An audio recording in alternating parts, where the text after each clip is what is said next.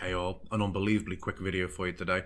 Uh, this is a module called Hover Distance from Ripper. Uh, this is one that I always get commented on in my games. Um, we've always been in situations, I'm sure everybody has, where you're trying to cast a spell or your players are trying to work something out, and they're coming in, they're clicking in the ruler for measure distance, then they're dragging it off between things, then they're forgetting they were in that mode, they're trying to move characters around and don't know what's going on, etc. etc. With hover distance, when you have a token selected, you mouse over any other creature and it tells you straight away how far away they are. So as I'm clicking around targeting, with different people selected, you can see all those different ranges. It is a huge time saver.